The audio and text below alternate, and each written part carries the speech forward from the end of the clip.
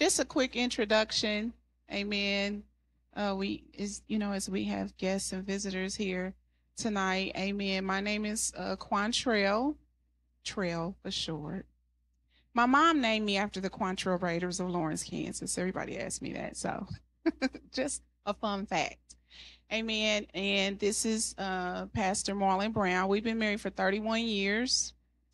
We have uh, four glorious adult children and six grandchildren. Amen. Praise God. Amen. So we're not novices, okay? We didn't just get married last year and trying to do this. I mean, we've been married quite a long time. We've been in ministry for probably hmm, 30, maybe 30. We we started in our 20s. So probably about 30 years, I would say. You know, I, I started first and then Pastor Marlon, so about 30, anywhere from 25 to 30 years of ministry. This ministry has been in existence since 2001. So what's that, 23 years? 23 years. Amen. And we've been in this building. Can you all believe it'll be a year next week, next Sunday? It's it's still a miracle that this is debt free, completely paid for. Amen. God really was good to us. Amen. And so um, we wanted to um, bring this forth. We usually do our faith and family weekends, and it's usually just around family topics and things like that. And so it's something that the Lord gave me many years ago. Amen. But this particular year, we decided to focus around uh, relationships one for the singles and then one for the married couples. Amen. Because amen these things are so very important. They're very important to god um and therefore i know they're very important to you. Amen. You want to have a long lasting relationship. You want to get it right the first time. Amen. How many can agree with that? We want to get it right the first time. Amen. And so we appreciate you all coming out here and um, letting us uh, speak into your heart. Did you want to say something? Okay. All right. And so when I started Diamonds, the Lord said to me, the number one problem for a woman is typically a man, a male relationship is what he was talking about. And the number one problem for a man is particularly a woman. Amen. Meaning that if the enemy wants to really wreck your life, Amen. He will send either a man or a woman into your life. Amen. It is the fastest way to tear your life up in one hit.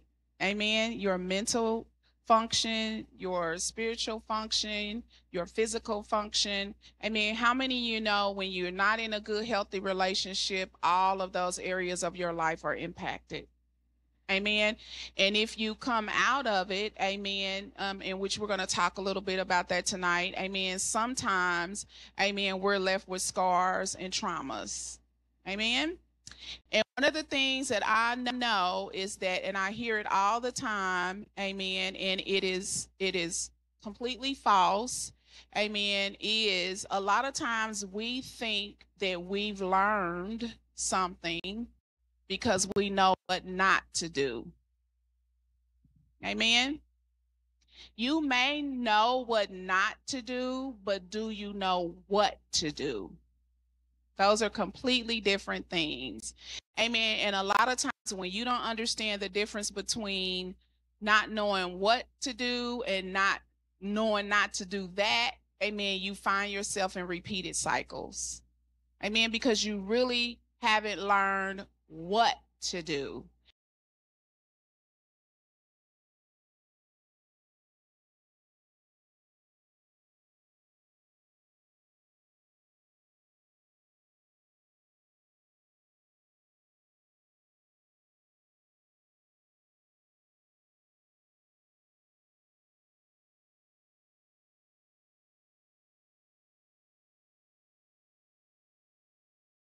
I mean, how first before I go into that, what is the purpose of dating? How many of you uh at some point or another, maybe not now, but eventually at some point or another, you're wanting to be in a in a marital relationship. Okay. All right. Because if not, you don't need to be dating. Okay. If you're not wanting to get married, you don't need to be dating. Amen. Well, you said correct. That's, that's the truth because um, that's where it's supposed to meet. You, if you're not looking to be married and you don't want to be married, then what are you dating for? You just need a friend. Um, so I agree with Quantrell that dating is designed to lead to an end result. And so uh, if you don't desire to be married to someone and you're dating, then you're really wasting the other person's time because you are you've made a conscious decision of what you don't or what you do want don't want to do, but the other person may not feel that way. Um, and so I don't believe in wasting each other's time. I, I just don't think that that's that's that's good. And the other reason is is because once again, the things that dating does and the things that dating opens you up unto puts you on a path that leads somewhere. So I do agree with you. Amen. So, what is the purpose of dating? The great Myles Munroe said, when you don't understand the purpose of a thing, abuse is inevitable. Amen. When you don't understand the purpose of a thing, abuse is inevitable. Proverbs 16 and 4. Proverbs 16 and 4. How many of you know that's true?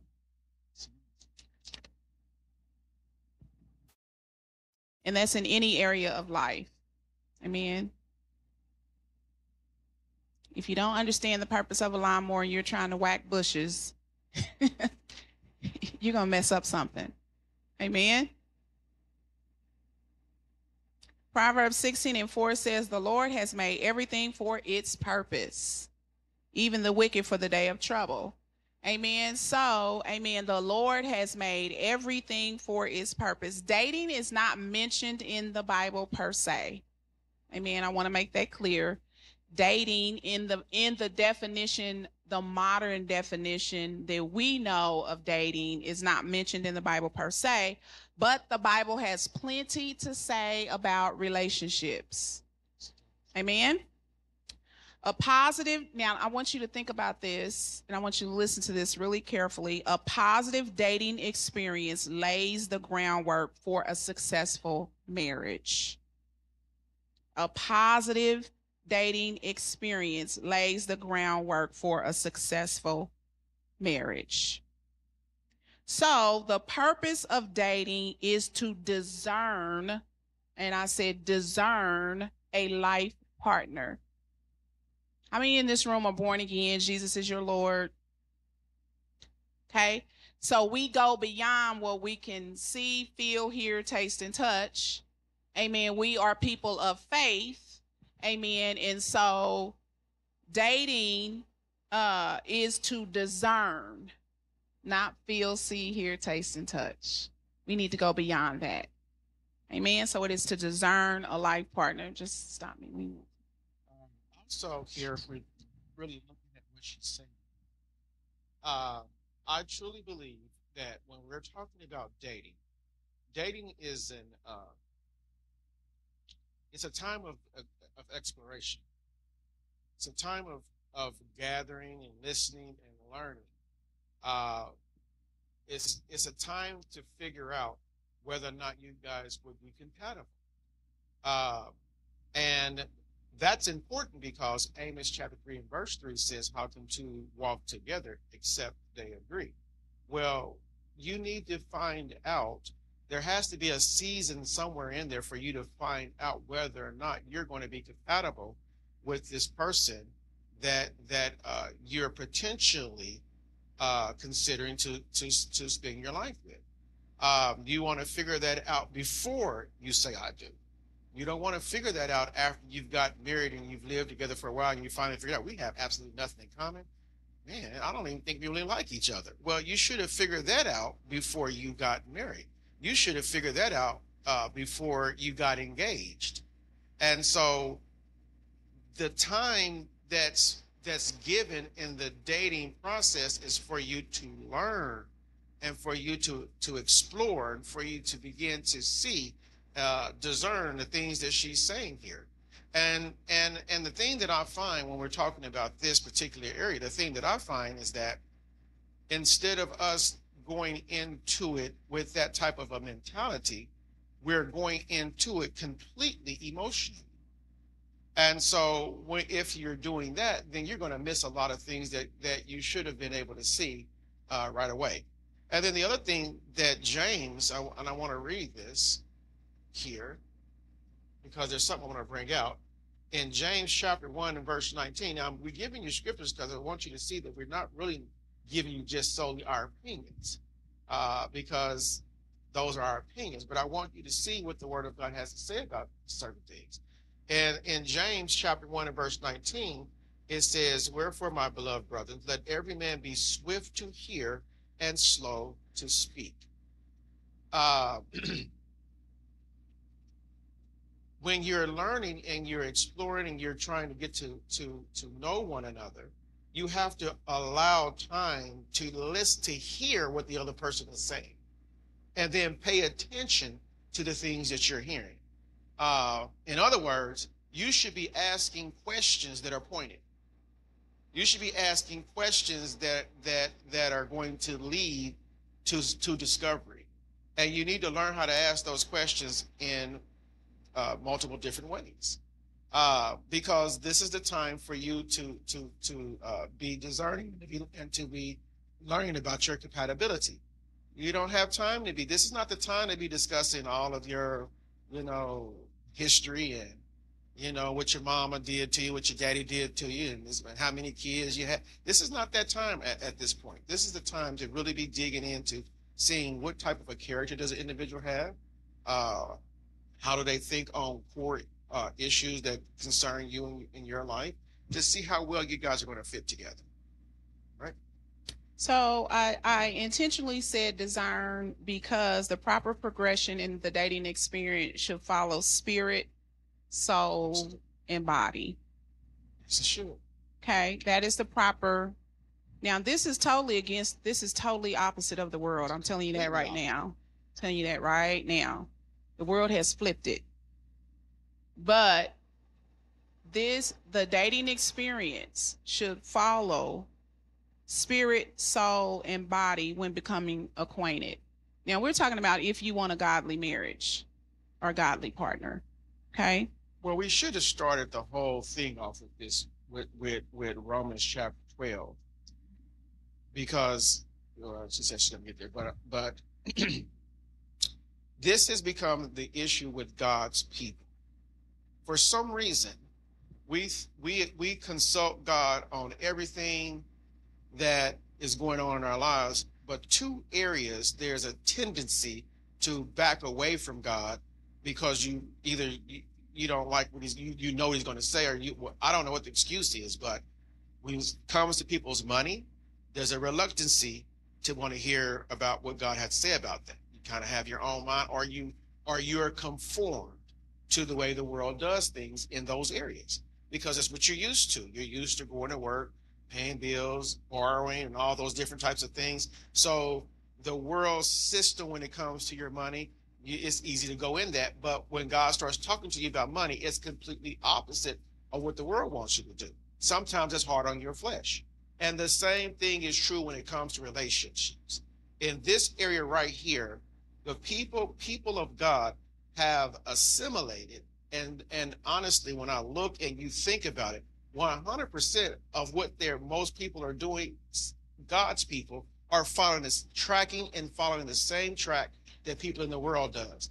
And if you're following the world's track and you're doing it the way that the world does it and the bible tells you not to be conformed to the world or the amplified bible one of one translation says don't be so quick to fit in how un, un, unto how they do things well if you keep following their track what do you think the outcome may possibly be?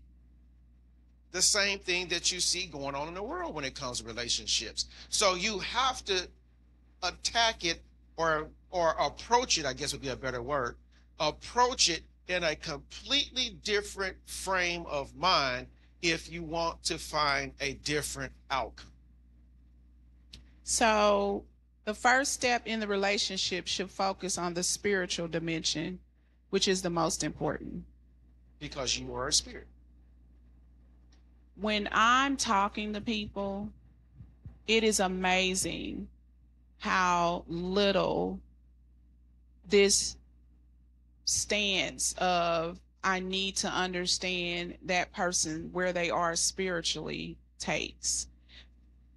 People seem to be more consumed in compatibility of intellect, compatibility of money, compatibility of everything else but the spiritual compatibility. And it is the most important because it often leads to the worst experiences when you don't understand this. And so, righteous dating should be in right alignment with God and his standard and principles. And as Pastor Marlon said, the world and God's standards are completely opposite. And unfortunately, believers are more familiar and more comfortable in the world's way of dating than with the Word of God. So, and it's usually only after a sexual encounter when couples begin to get acquainted. Now, I know all of us in here are probably experienced in dating or experiencing that, and that is absolutely the truth. Sex is 100% emotional and physical. Okay? detrimental. And there really is no real deep, deep, deep spiritual spiritual bonding in it, especially if you're not married. It's purely 100% for your physical and emotional enjoyment. When it's done outside of the marriage, it is absolutely 100% a perversion and it is absolutely 100% an entryway for the kingdom of darkness in your life.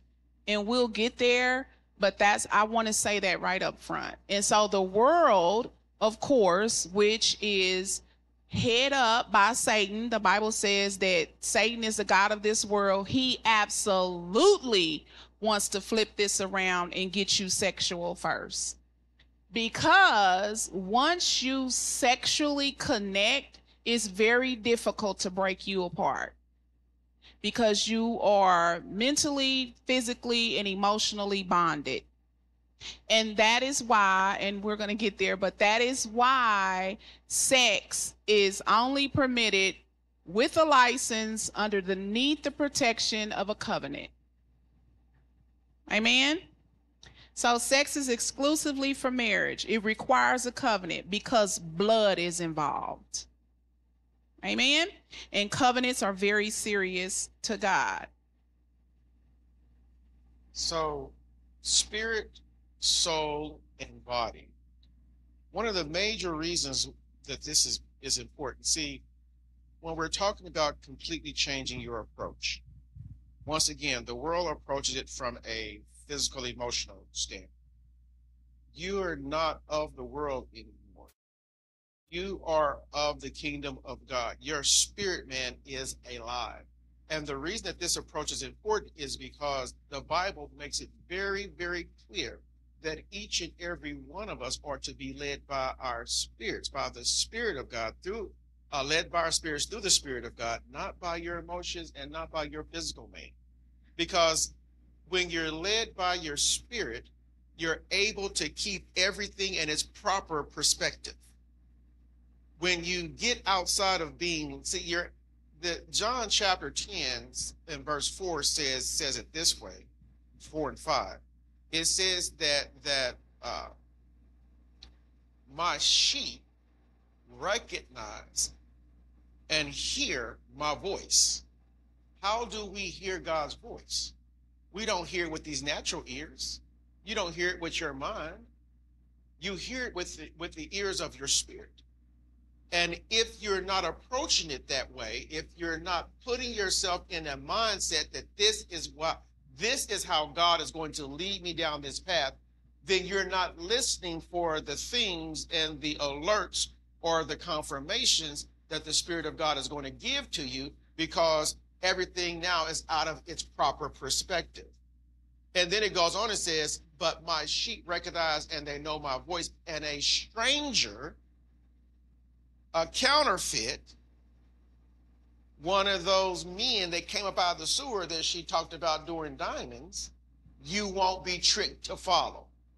But if you're pulling this based on your emotional connection or a physical connection, then it's going to be very easy for you to be deceived. Why? because the devil is the master of deception in that arena. And he will deceive you every single time. I promise you, he will. Whether you are a man or a woman. Because don't you sit here for one second and think that God, I mean, the devil don't have some females out there that that that he's using to, to trick you up as well.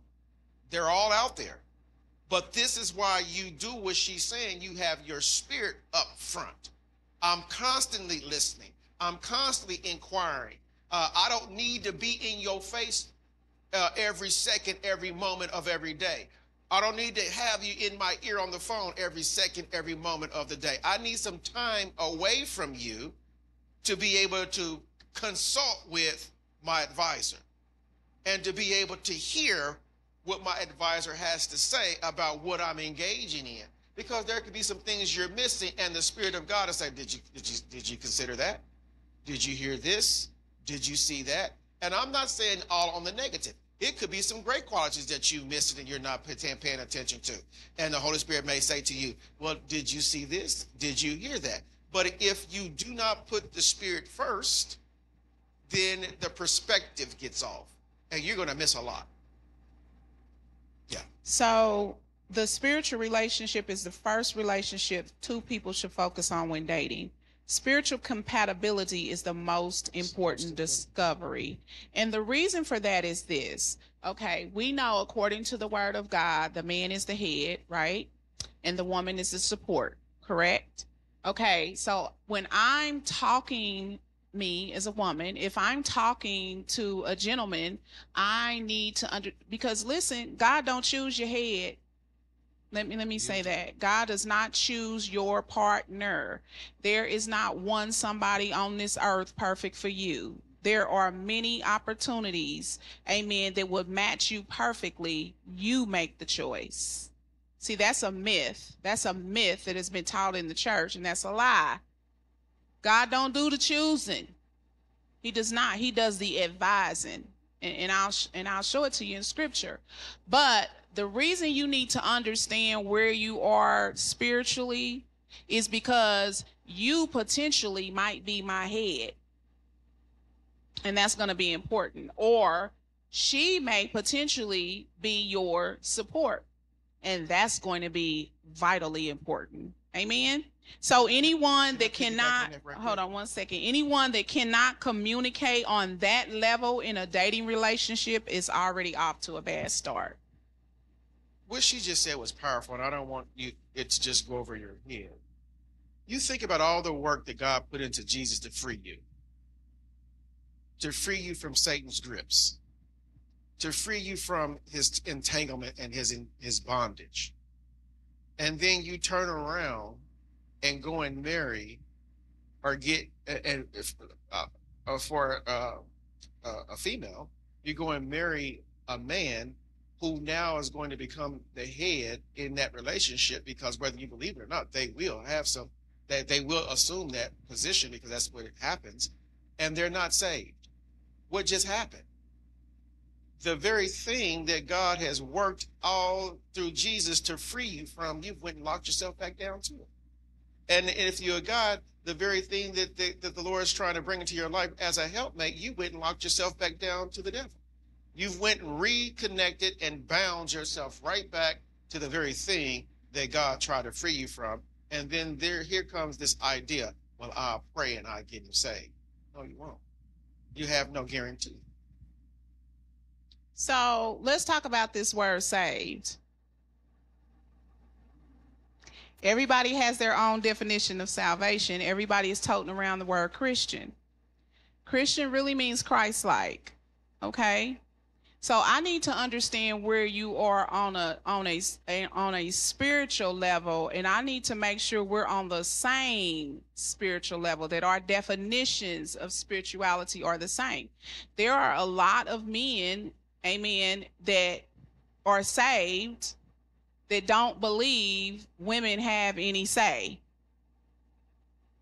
There are a lot of women who are saved that believe they supposed to run the whole show. Okay? So I need to understand your biblical concept of what it means to be saved. Amen? Because salvation, when true salvation happens, it is a complete change of your character, your desires, your appetites. Amen? And so if you're saying you're saved, but you want to meet me on a date in the club, I'm going to have a problem. Well, that goes back to can you define for yourself what salvation means? Because if you can't define it for yourself, then how in the world are you ever going to be able to recognize it when you see it? So if you can't define for you what it means to be saved, I can I can tell you what it means to me. Saved folks live by this. Amen. That's just what I'm going to tell you. You ask me any day of the week, this is what saved folk do. When they find it in here, this is what we do.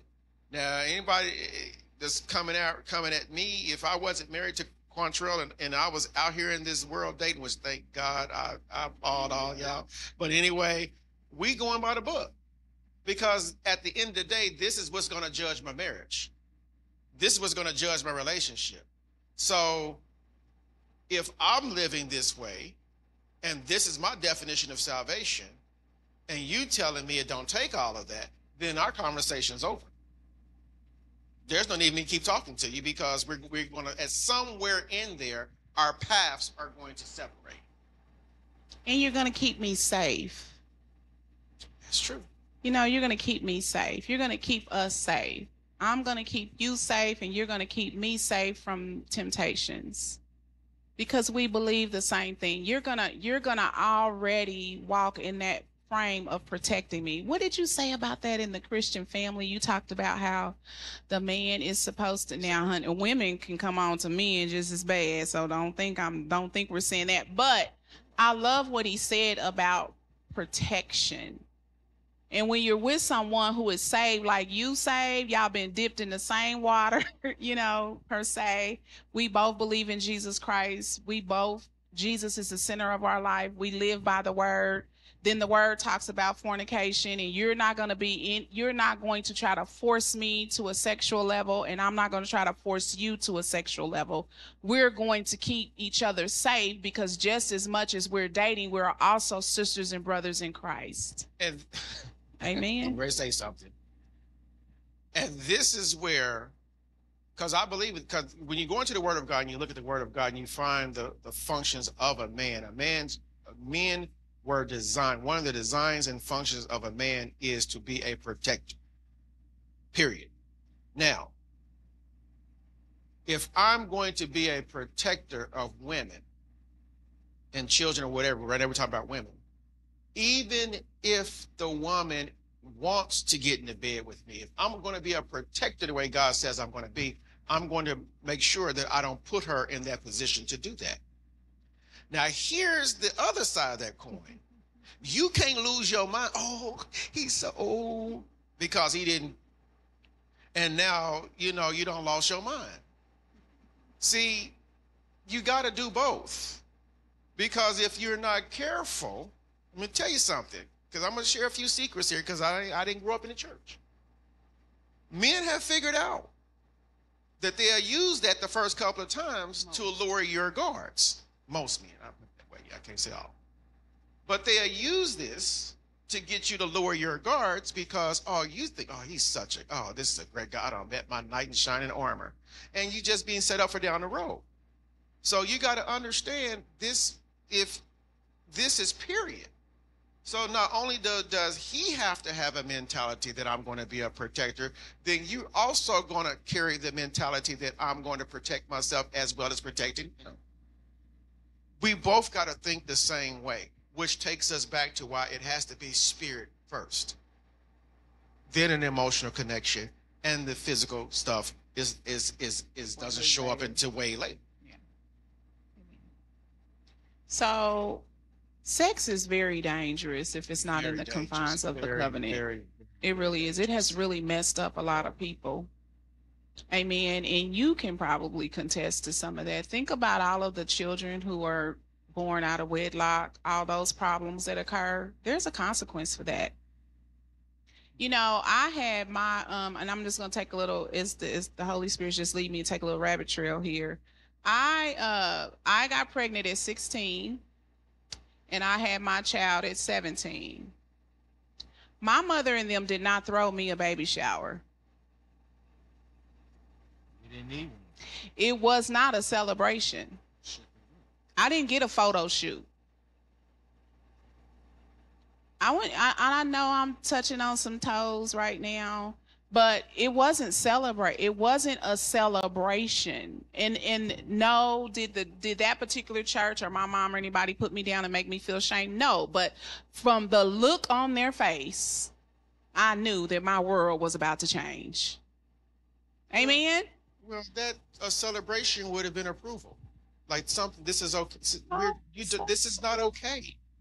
So we shouldn't be celebrating something that I'm not saying that something's wrong with you. I'm not saying that something's wrong with the child that's coming, but what the position in which this thing is happening is not a good one, and we shouldn't be celebrating it because once you start to celebrate that kind of stuff, it makes it easier for the next because it's not see this is the problem back to what i said. We cannot copy the behavior pattern of the world. We have become too lax in these areas in the house of god and this is why we see the exact same failed marriage failure rate in the church. This is why we see the exact same issues that we see going on in the church in the world. It's going on in the house of god. Divorce rate that the world is having is happening in the house of god. The exact same thing is patterned just like the world. Why? Because this is what's happening no, we don't celebrate those kind of things. We we should be saying, hey, okay, this happened, but let's not let this happen again. And here's why. And I have a whole lot to say in this area, but I don't know if she won't if she's going to get to it. Well, the reason that I brought this up is because for me, it, it created a trauma. I didn't have the com- confounds of a marriage. I didn't get to celebrate it, the experience of the me and the father of my child and the protection and the joy and it created a traumatic experience. And we're going to talk about the trauma of that and how that impacts your life. It really does. You don't think it does? You know it does when it comes up. When it comes up, when you meet somebody and they may be a good person, that's when all that trauma shows. You found Oh, you sure do. He said, I sure do. First Okay. Corinthians, First Corinthians chapter six. You got your Bible turn there. You need to look at this. Because a lot of times, folks, you- y'all just old fogey. Y'all just don't want us to have any fun. Y'all just y'all did all the stuff, made y'all mistakes. Watch me. See, hey, you don't need to go hit your head up against the wall to find out that it hurts just because I mine got hit and it hurt. If I tell you it hurts, it hurts. You learn from my mistake. But here's the here is to me the number one issue that people, God's people miss when it comes to sex. Sex is designed, sex is designed, wasn't designed primarily just for procreation, mm-hmm. although that's a part. There is another function to sex that God built into sex for a reason. And you see it right here. First Corinthians chapter 6. Let me see what I want to start. Uh, let's start at verse 16. We'll read it from the Amplified Bible. Do you not know and realize that when a man joins himself to a prostitute, let's take out the word prostitute there and just says when a man or a woman fornicate. Same thing. He becomes one body with her. The two, it is written, shall become one flesh. Now, if you don't understand that, the very next verse explains it.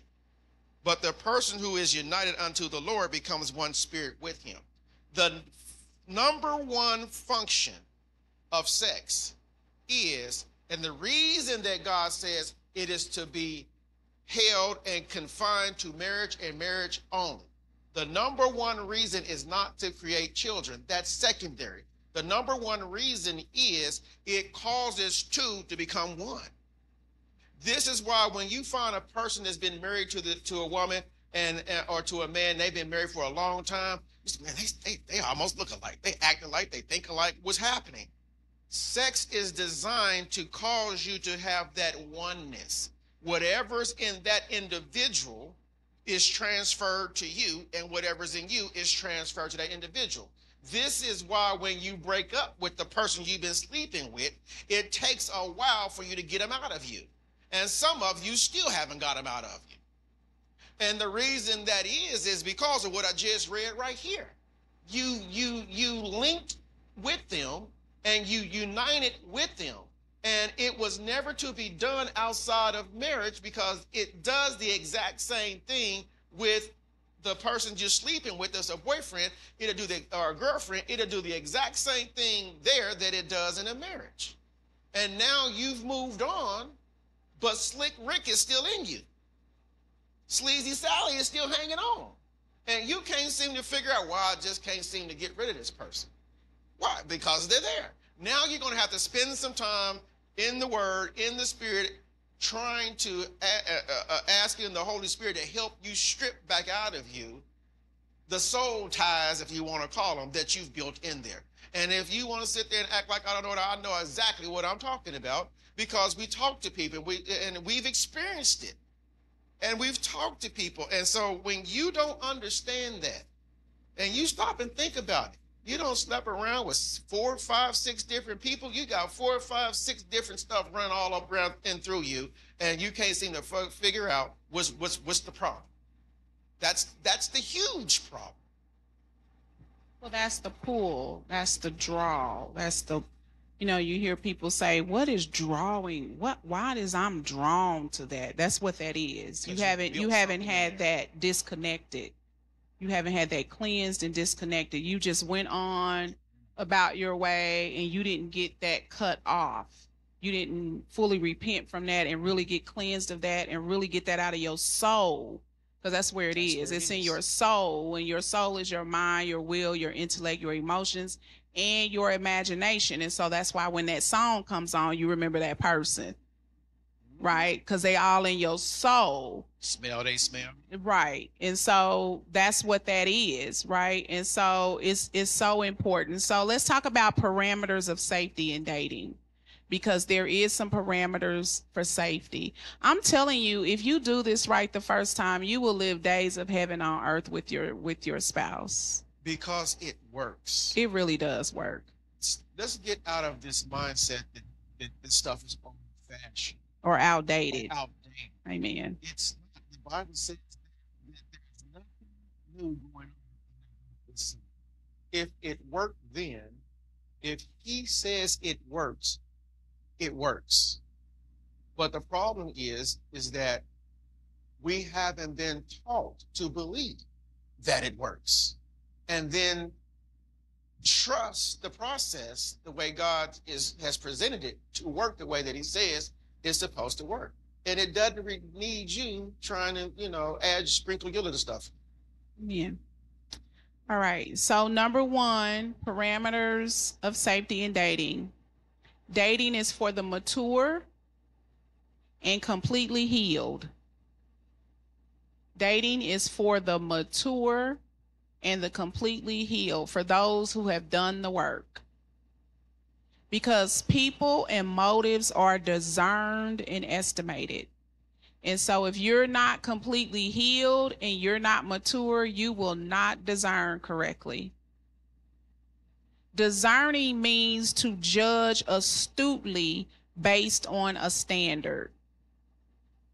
Based on a standard. So, it's for the mature and the completely healed. Hebrews 5 and 14 Hebrews 5 and 14, the ESV version says, But solid food is for the mature, for those who have their powers of discernment trained by constant practice to distinguish good from evil. Romans 12 and 2, the ESV version says, Do not be conformed to this world, but be transformed by the renewal of your mind, that by testing you may discern what is the will of God, what is good and acceptable and perfect. How did the Bible say that you test that? Discernment. First Corinthians 2 and 14 in the ESV version says, The natural person does not accept the things of the Spirit of God, for they are folly to him and he is not able to understand them because they are spiritually discerned. First Thessalonians 5 and 21 in the ESV says, But test everything. Hold fast what is good. That word test is translated discern. Yes. That is uh 5 and 21. First Thessalonians 5 and 21. And Uh-huh. notice, discernment is an operation of the spirit.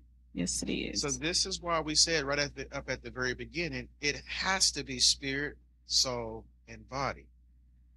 You you you underestimate the value and the power of your spirit man. And if we would learn how to follow him a little bit better, he is one of the major things that that that happens is he is a protector. The Lord you protects you through your spirit. Revelation comes through your spirit. Discernment comes through your spirit. Information, wisdom from God comes through your spirit. It does not come through your mind. It has nothing to do with your body. So if you do not engage the spirit, you're going to find yourself at some point possibly getting off soon. Okay, so dating is for the mature and it's for the completely healed. It's not fair for you to be dating somebody and they have to live through your trauma experiences and be judged as if they were the person that did what they did to you was the that's all messed up. Okay? So we don't want to be there. Number 2, clear communicator. So out of that maturity comes a clear communicator. Clear communication sets up realistic expectation. It's unrealistic to have expectations you've never discussed. A good communicator knows when to talk in articulate, succinct, easy to understand language. I need to make sure that I am intellectually communicating with you and not emotionally communicating with you right just that's just a little tad bit about what i have i'm not going to say all men but i'm going to say with pastor marlon okay men respond pastor marlon to facts information when you get emotional it's a complete turnout just tune it completely out. You're doing too much. Okay. If you have to get completely emotional in the dating space, you ain't ready to date. You are emotional wreck. That's ridiculous. And you're going to scare somebody off and they're going to think you need to be in a mental ward because it should not be this deep on no date. and neither one of you should get offended if you start talking about things and the other individual just says to you, this is mature, kind of grown folk talking, right? They say, you know, I'm just not ready to discuss that right now. And that's okay. Because maybe this is this isn't the time to just because sometimes we can be moving a little too fast. And and a person's not ready to divulge that kind of information just yet, because I'm not quite sure that you are trustworthy to hold that kind of information just yet. Give me some time.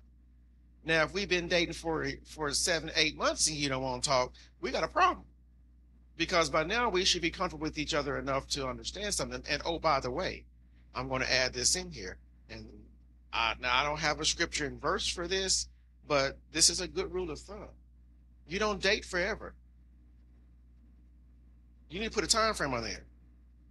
After a year, you should be understanding whether or not we going somewhere. After a year, we should be ready to move on because prolonging things out, you could you could be missing out on an opportunity down the road because you're over here playing around, waiting around. I've seen people. How long y'all been dating? Well, I've been waiting for him to ask me to marry him for. I've been waiting for her to. What? How long? It's been five years, six years. You don't know by now whether or not you want to be with me, and it's six years later. Then you don't want to be with me.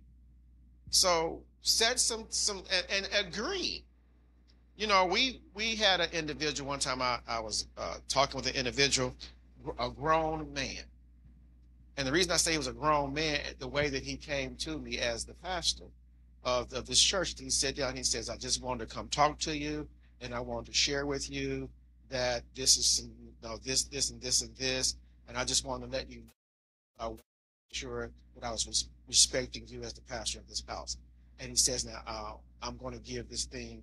if you don't mind one year to find out whether or not this is going to work. And if it doesn't work, then, you know, I just want to let you know. And then that a year went past and that individual came back and sat down with me and, and explained to me what happened. And he just, and why, I mean, respectful. And, and, but he was a grown man. That's what grown people do. They don't string people along. Amen. Amen. So you need to be a clear communicator. James 1 and 19 says, let every, you need to be a good communicator. You need to know when to talk and when to, when listen. to listen. You don't cut people off when they're talking and you don't insert stuff. You need to give that person a chance. What did I say? Dating lays the groundwork for marriage. You're going to have to use the same communication style when you get married. Okay, so James 1 and 19 says, Let every man be quick to hear, a ready listener, slow to speak, slow to take offense, and to get angry. Yes. Okay. I hope you're writing your questions down if you have any, because we're going to give you time for for questions. All right. Don't assume if you don't understand what's being said, don't assume this is what that person meant. Ask one of the things is it just Montreal. She we could be talking and she got this thing big. Um, I'm gonna need an example. yeah, I need an example. Absolutely. but it sometimes is irritating, but I understand why she's doing it. Because you don't want to assume because you could assume wrong. So if you're having a conversation and you didn't understand something before you get in your feelings, find out communicate this is what communication does this is what it's about because you haven't communicated if you didn't get an understanding you just heard something mm-hmm. so you have to take the time this is why we say this is for adults you have to take the time i didn't understand what you just said can you give me an example or explain it to me another way and if the person is frustrated because you're asking to do that then we got a communication problem right now that that this could be a deal breaker right now because if this is the way we're going to act and we're just dating, what the heck is going to happen when we get married? I don't understand. So don't assume that you knew what they were saying and then make a decision on an assumption that could be wrong. And remember, I said it's unrealistic to have expectations you've never discussed. So when you're dating, this is my examples. You see, I give examples. I'm just an example girl, right? So I give examples, and that is a rule of thumb. You need to give examples because both of you come from two different backgrounds. A green cow could mean something different to me than it does to you if you live in the city and I live in the in the country, right? So we need to understand what what we're talking about. So here here is an example of that here is what it will cost you to be in a relationship with me. Here are my expectations. Here are my boundaries. Because relationships do cost something, right? This is mature. That's what did I say? Dating is for mature people. right? So we're able to sit down and articulate this is how long I plan on dating, this is my intent for dating. I don't want to waste your time. I don't want you to waste my time. We're not just going to see where this goes. We're not just flowing. And depending on your age, you really ain't trying to just be flowing somewhere, right? Right? You ain't 17 or 19. I mean, you 40. I ain't trying to flow. I need to know where we going to go. Amen. See, back to that what I said earlier. Your questions are pointed. They're there for you to learn, for you to see compatibility. See, these are grown folk conversation. And and if you can't have this kind of conversation on this level, then you're not ready to go into a serious relationship that's headed towards marriage. Because this is serious conversation.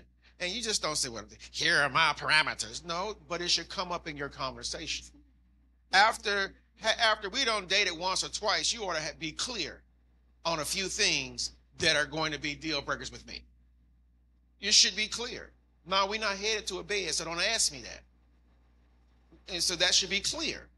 There, and, and if you haven't established certain things early on, see, I'll put it this way people res- will respect you to the degree that you demand that respect. And if you don't demand the respect, then don't be upset when you get disrespected. So, you know, we dating and you got upset and called me a B. Whoa, whoa, whoa, whoa. No, we just had a problem. So pump the brakes right here. Because, first of all, that's not my name. Second of all, lose my number. Because if you don't have enough sense, see, but or see, the you, other way around. or the other way around. Mm-hmm.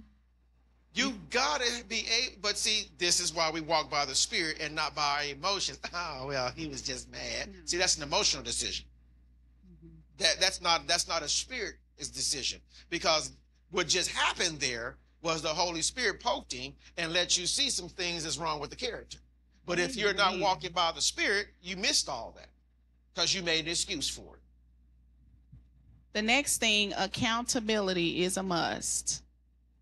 When you're dating, because it can lead to physicality and things like that, you should be accountable. You need a you need to be accountable to somebody. This is not the time to go into hiding with who you're dating. Plus, you need a fresh set of eyes. Right? So Proverbs 15 and 22 says, Where there is no counsel, purposes are disappointed but in the multitude of counselors they are established. Amen. I'm gonna say this while she's looking for the next thing too. Um, you have to be honest with yourself in this in this uh, uh, area, and with the parameters. You have to be honest with yourself. Now, what do I mean by that? If you know you're that individual that has a problem with controlling your flesh, especially when you get into an, an intimate setting or, or uh, uh, some type of whatever it is, and you have a problem with that, you got to be honest with yourself and know that that's a weakness that you have. And I say that to say this this way.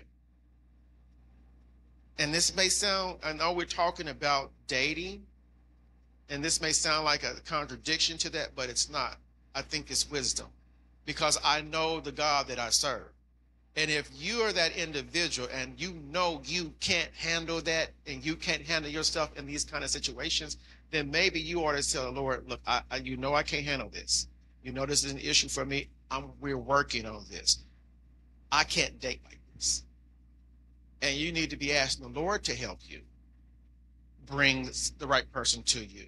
And I believe that the Holy Spirit will do that for you because you're you're taking an approach to say that I'd rather be safe than sorry. I can't, and I know I can't handle this. So there's no need of me even trying. So Holy Spirit, I'm I'm working on it, but while I'm working on it, help me. And I want to be married, so I'm going to need for you to assist me. And I just wanted to add that in there because there may be some there there there may be a time where you just have to say, well, Lord, you know, I don't, I just need for you to do this for me, help me. And I believe the grace and the mercy of God is there because you're being honest with yourself and you're being honest with God. Uh, Ephesians chapter 4, verse 27 said, Don't give any place to the enemy. And if you know that's a weakness, then you just gave him an, uh, uh, an area to shoot at you. All right. So So let's just do a quick debunk of the modern myth. Friends don't sleep together. Yeah, that movie was fake. Ain't no friend. The benefit is that I'm your friend. that other benefit is for my marital partner. So you can't when once you start sleeping together as friends, it's over. Somebody you can't say, "Well, I, you know, I told him, I told him." It, it, it don't you told them, Emotions are involved. That's why you've been dating for years and can't figure out. Nobody to marry you. We do. We be married. We do our Amen. Marriage stuff right here. these things are pri- these things are privileges Yes. for marriage. Stop giving away marital privileges to boyfriends and girlfriends. They have not earned the right to receive those things from you. Do you know I had a guy tell me one time, he got so mad at me because the young lady was asking me my advice and she was saying the guy wanted her to be doing all this cooking and all this kind of stuff. And I was like, uh, no, that's for your husband. That's not for a boyfriend. You know, you shouldn't be doing that.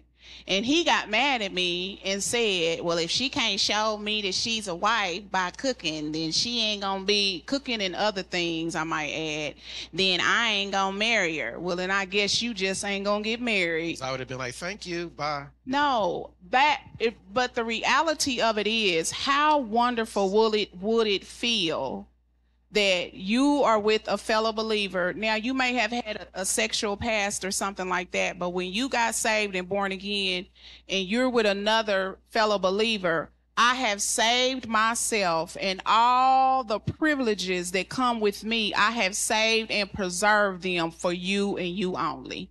How would that make you feel? Amen. You don't have to have mental images and pictures of other people I done slept with all around this town and how many people in this town have seen me nude. Right? Am I and now we grown, right? Correct? Amen. So the thing and and let me say this, I had a singles conference one time and people couldn't even determine if they were single. Listen, if you're not married or engaged, you're single. That's just it. And you're dating. Well, if you engage, you truly ain't married. You ain't married, but it's it's a it's an experience higher than It's dating. higher than dating. Amen. All right, so accountability is a must. All right, here's another one. Oh, a big one. Unequal yokes. Okay. An unequal yoke is not the same as incompatibility. I need to say that. An unequal yoke means of a different kind.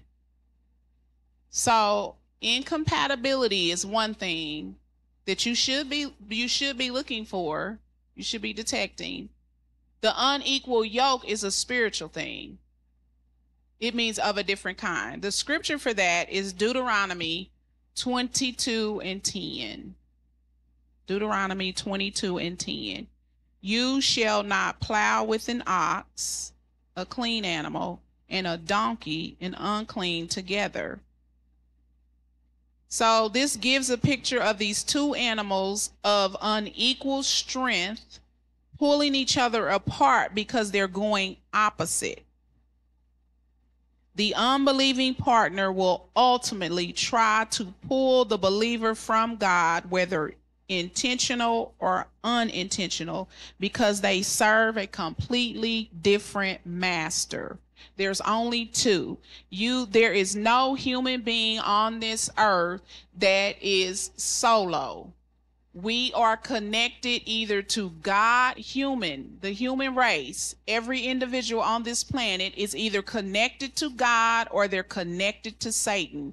There are only two that you can be connected to. You're not somewhere independent of yourself.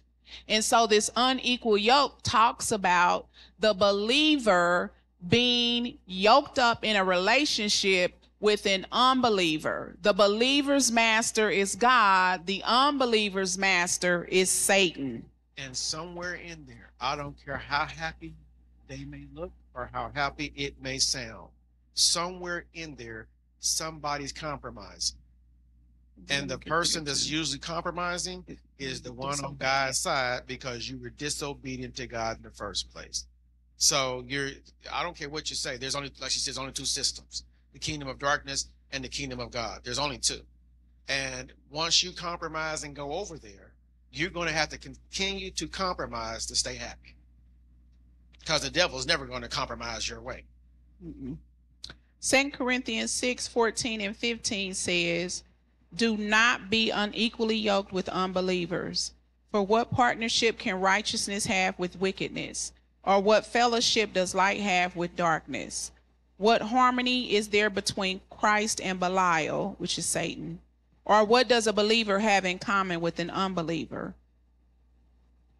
Ephesians 2 and 2, it says, now this now this is this is the the mind of the unbeliever, in which at one time you walked habitually, you were following the course and fashion of this world, were under the sway of the tendency of this present age, following the prince of the power of air, you were obedient to and under the control of the demon spirit that still constantly works in the sons of disobedience, the careless, the rebellious, and the unbelieving who go against the purposes of God.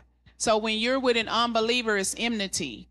It's it's enmity and and and I saw it. That it's worse than enmity is a stronger level of hatred than just hatred.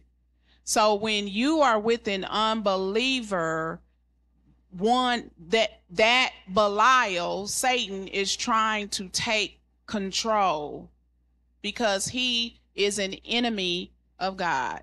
Yes, brother Sh- brother Shelton.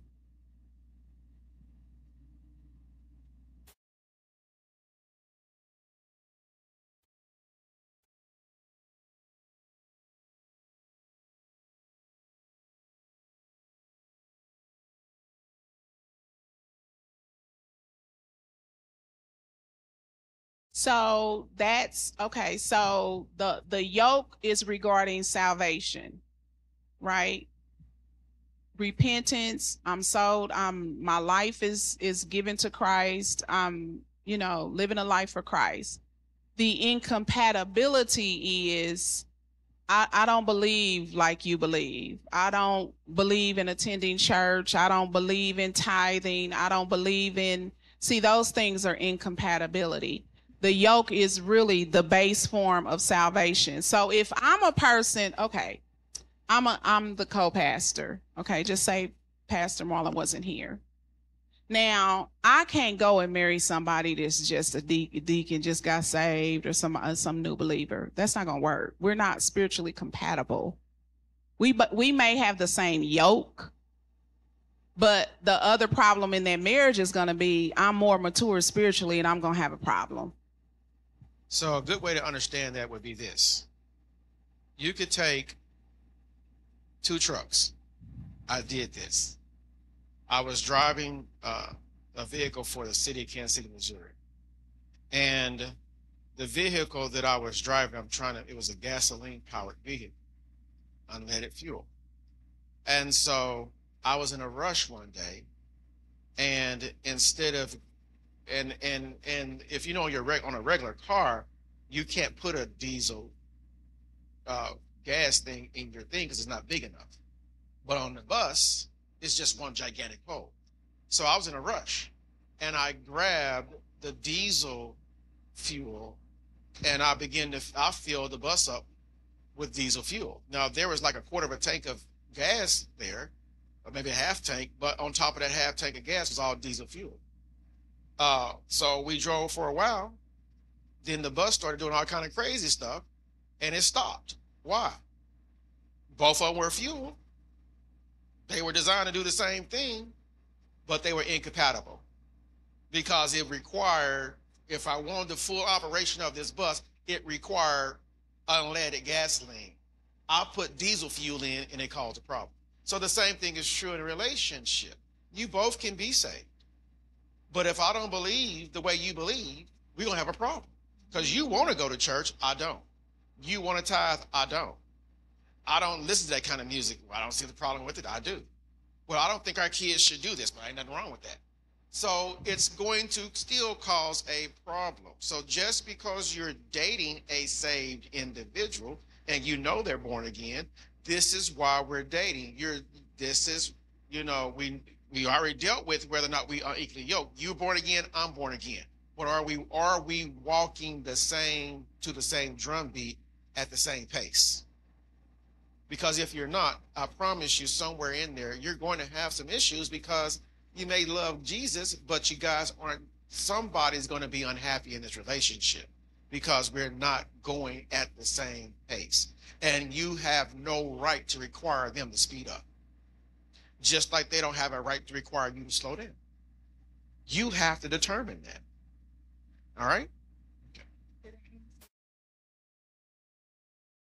So the yoke question, how do you remember I said the first the first step in the relationship is to understand that spiritual connection. So how do I determine this yoke first? Because that's the first thing. That's the most important. The spiritual connection is the is the most important, right? It's the the first important. The compatibility issue follows under the soulish man. Okay, so the spirit part. What about that? Has he or she entered a personal relationship with the Lord Jesus Christ of faith, repentance, and is there evidence of that in their behavior and lifestyle? Okay. So you should take all the time you need to learn where each other stands in the matters of faith, worship, commitment to holiness and righteous living as believers. If you cannot agree at the spiritual level, you will have problems at every other level. We've seen it time and time again. Time you think uh, in the in the 20 something years we've been in in this church, managing this church and in the 30 something years we've been married, we haven't seen all this type stuff. We've seen stuff that would just make y'all pass out. People trying to put stuff together.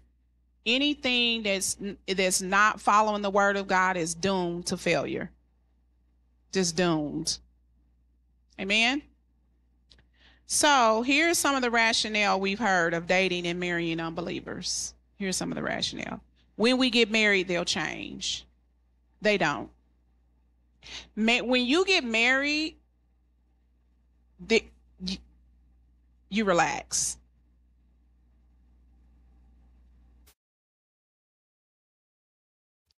You don't have the married people in here to tell you that, but that's the truth. When you're dating, you're on your best behavior. When you're dating, I only see you what maybe once or twice a week on a date, or I call you or talk to you or something. I can talk a whole bunch of stuff over the phone. Right? We've te- we've mastered texting and Instagramming and Facebooking and all that kind of stuff. Oh, he sent me hearts and she oh, sent oh, me poo poo letters, right? Mm, kisses, right? Amen. And so when you get married, there is no, I mean, you got to see me every day. You're going to see me moody, up, down, all of that. Amen. So you can't change people once you marry them. I'm telling you right now, you might as well give that up. It ain't ever going to happen. It's not going to happen. And it's absolutely insulting. No grown person wants to be made over like a house like a remodeled house. It's it's insulting because when you met me, this was me. This is me, right?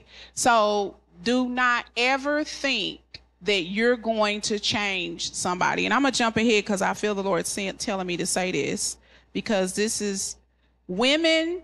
This is false realities amongst men and women about changing someone.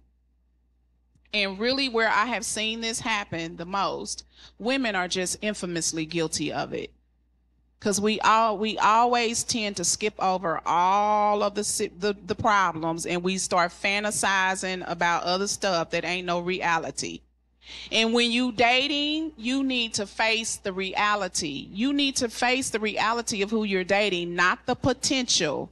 I got i got to tell women that men just one second with the women. Y- y- y'all got to get off this potential stuff you need to see who you're dating for who they are, okay? Because that's who you're gonna be with. And when they show you who they are, believe. Believe them. All right. So, b- men, when I was studying this and talking about it, this this is this is what the Lord said to me. Y'all, y'all can agree or not.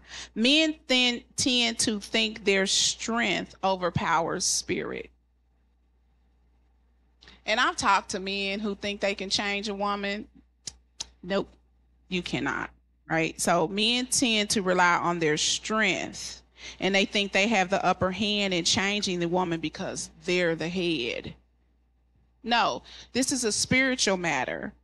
So neither one sees that the one who compromises is the weaker, and the weaker is ruled by the stronger, and the devil requires submission. So bowing down and compromising is just that it's submission to the enemy. Whoever it is that is compromising the word of God and God's standards, you are the weaker.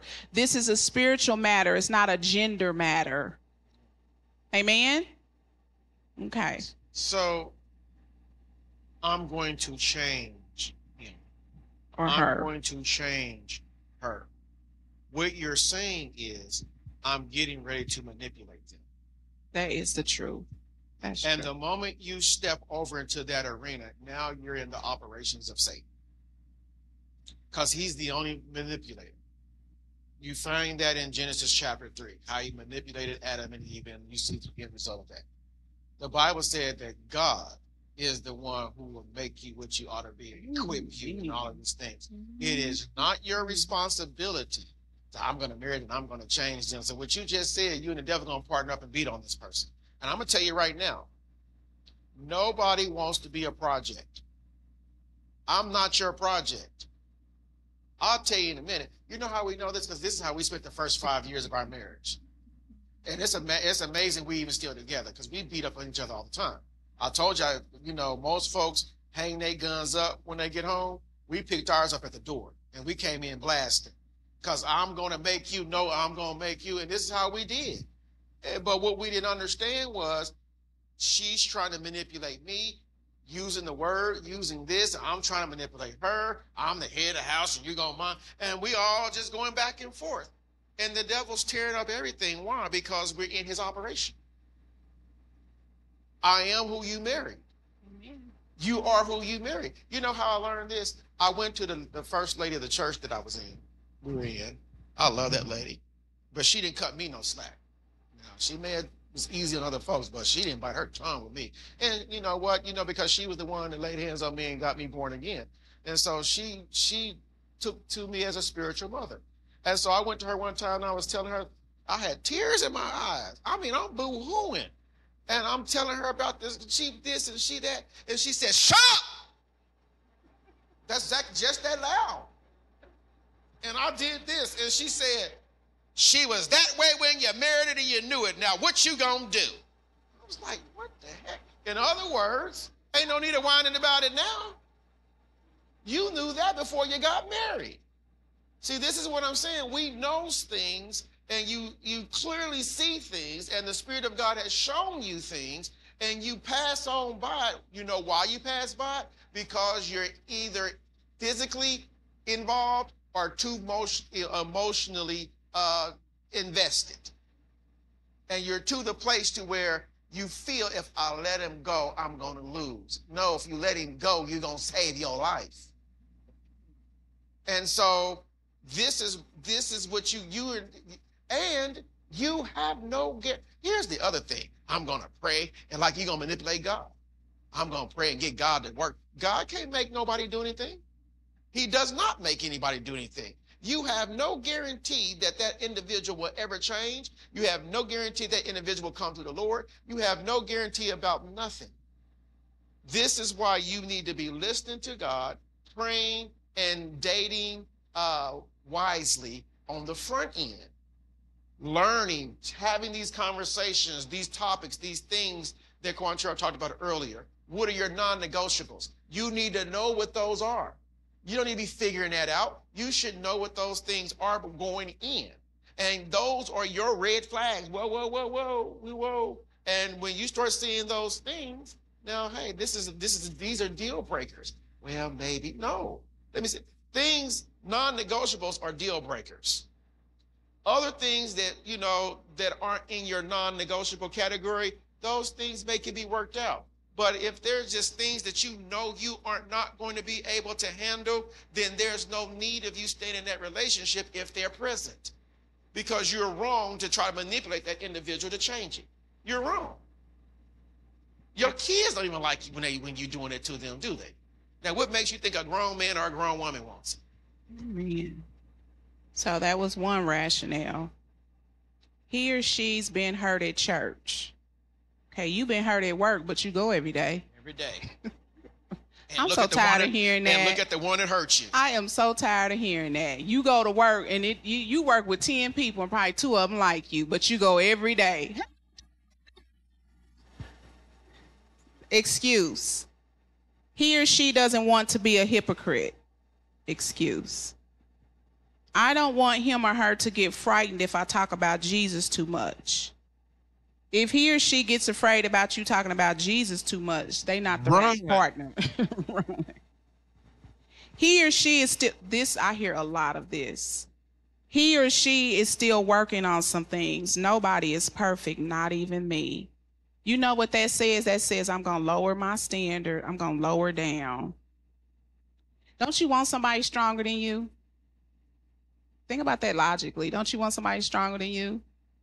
You're going to need somebody stronger than you. Um, he or she's not a Christian, but they, sh- but he or she is sure nice. Even nice people don't make it into heaven without Jesus. Amen. Now, I, I really want to Can I- talk. Can I oh, yep, yep, that you yep. put in on the time? Yes, yes.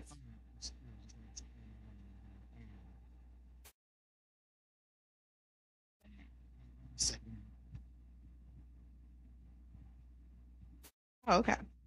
I really want to spend some time here. This is I, I shared this a little bit with you all on Sunday that when the Lord was talking to me about doing this, he said to me, My people need to in, in the area of relationship. You got it. Go ahead.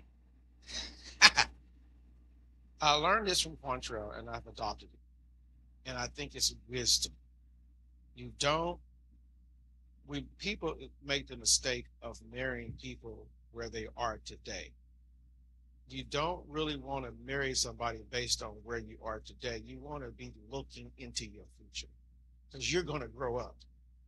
And see, it may be cool. We kicking it now. He sits on the couch and she sits on and plays video games. She done this and he and all that stuff is cute now because you're 21. It's cute now because you're 25.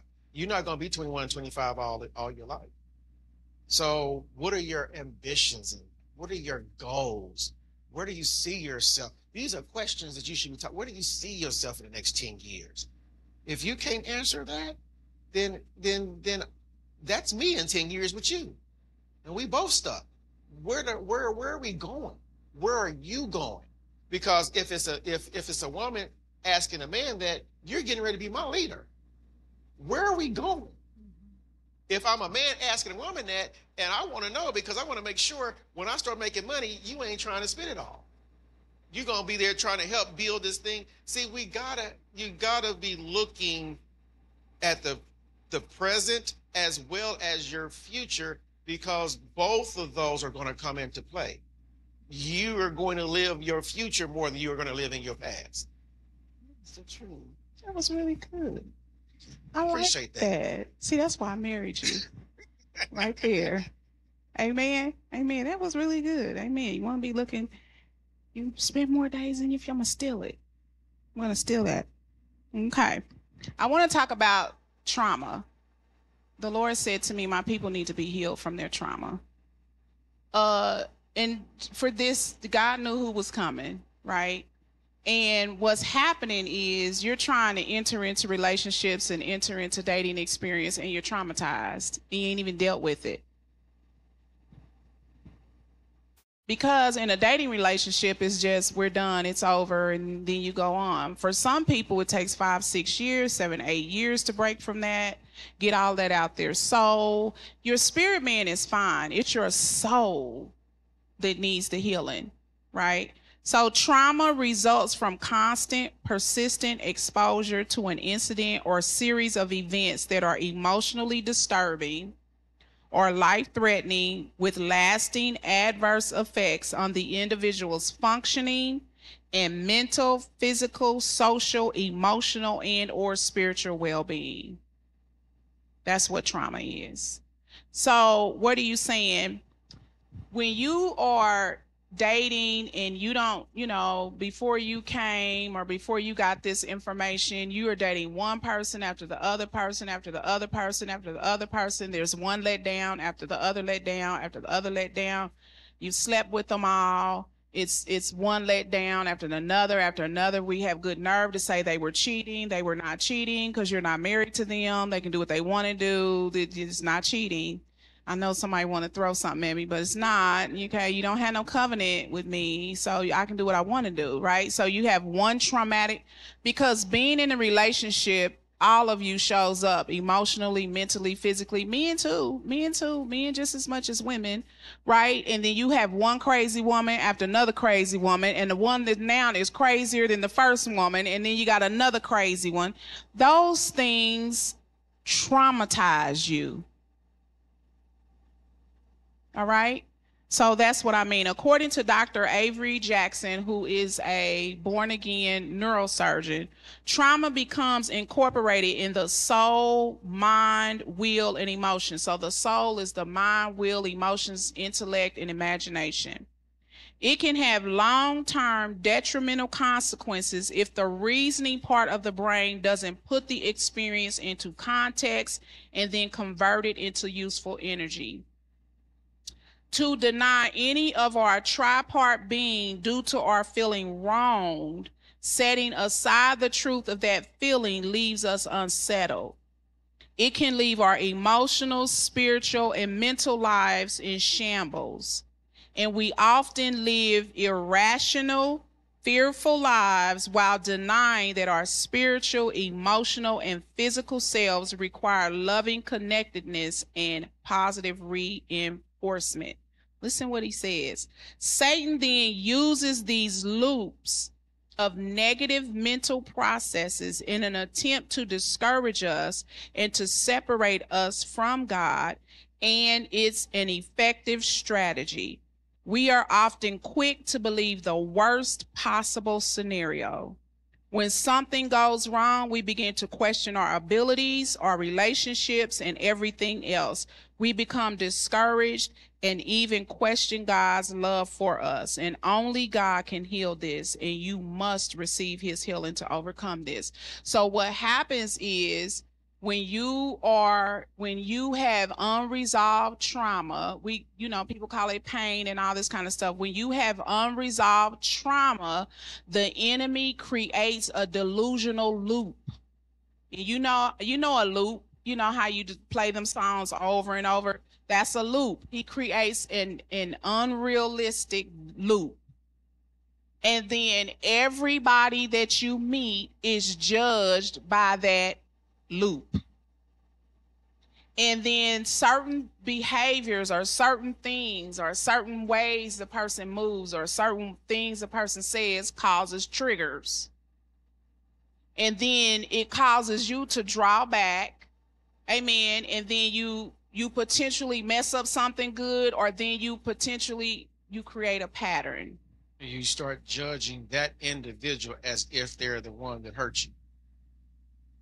And they can't they have and and they have to walk on eggshells around you because every little thing that they do has nothing does they may do the exact same say something or it doesn't mean that they're that person it doesn't mean they're going to respond the way that other person responded. But when you are not whole and not healed in an area, that triggers in you a defense mechanism and you go into this reclusion or you go into this walled up area and you start to fortify yourself to to do what you do to protect yourself. But what you're doing is you're isolating yourself and you could be missing out on something that's great because you're judging them as if they're the other person. Now, let's talk about children who are in or who who are caught up in your, you know, your experience. You have children and you're dating. Your children should not be introduced to your dating folks until this is going to be a permanent decision and we're going to get engaged and we're we're going to walk down this aisle and I know this. Because children, amen, attach to people, right? Emotionally, mentally, physically, and it's traumatic for them to see somebody else every 3 months. Or ever however often it is, right? And it's especially dangerous to have your children calling your partner mama or daddy and y'all dating. No, you need to protect your children's physical and mental mental status, right? Amen. Amen. We need to protect our children, right? And so unless I know that unless I know for sure you going to be my marital partner and we're in agreement with that and I've had that revelation about that, amen, then I'm not introducing you to my children. You don't you don't need to know anything about my children. Amen. Know is that I have children. That's it. Correct. Their names are not important to you right now. Uh, how old they are isn't important to you right now. I have children. Now, as we date and we come to conclusion, like she said, we're going to be engaged and we're serious about this and we know, then yeah, now it's time for you to, you know, to introduce them to your children. Also, it's time to introduce them to your to your family. You don't need to be bringing every time you get a girlfriend, Mm-mm, boyfriend, they, they come from to the, the family picnic. Why? Mm-mm. Please. Why? Please. You don't need to be here. Mm. I'm not know for sure you even gonna be around next month. So why am I bringing you to the family picnic?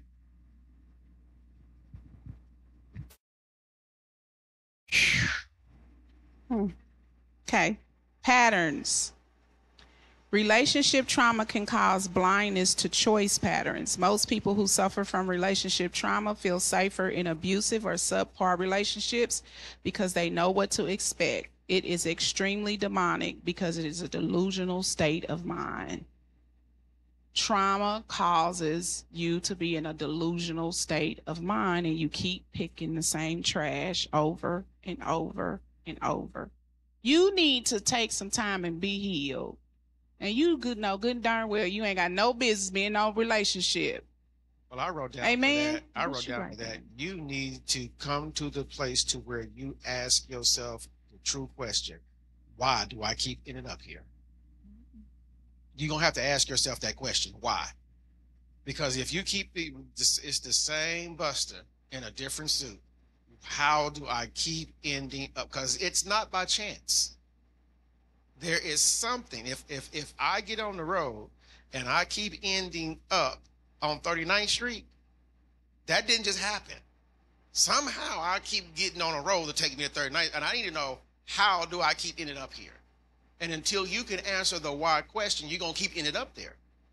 Which takes us back to why it has to be a spiritual thing first. Because if you really want to know, the Lord will tell you. He's been telling you, you just wasn't listening. So, out of trauma, then we're talking about attractions and personal tastes. Why do men and women say they want something good, but then then can't see them when they show up? Cannot see them when they show up. So, out of trauma, then it's birth perverted appetites. Now, perverted appetites. So I want you to freak out. I want you to think about this.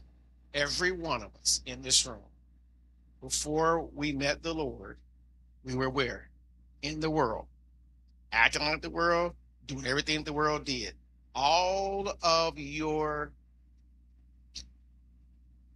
attractive attractions and your your kinds and your taste and all of those things, where were they all forged? See, do you stop and think about that that attracts to you? Where was it forged? The drinking and getting high and then having sex and this and that. All that stuff was forged in a demonic, perverted lake. You cannot bring that red wagon over here with you. Because if you do, you I'm gonna let you say something before I say this. Because I'm going to say some stuff. So if you are living in a false mental delusion, then all of your senses, the enemy has to twist all of your senses in order for you to remain in that condition comfortably without detection of its falsehood. So the reason that you can't pick it up, that you're just seeing the same person, the same person, the same person, the same type of individual over and over and over, over male, female, is because you haven't dealt with that trauma. Because then out of that trauma, then comes those appetites and all that kind of stuff. And so what the enemy does is he keeps feeding that. Remember that loop?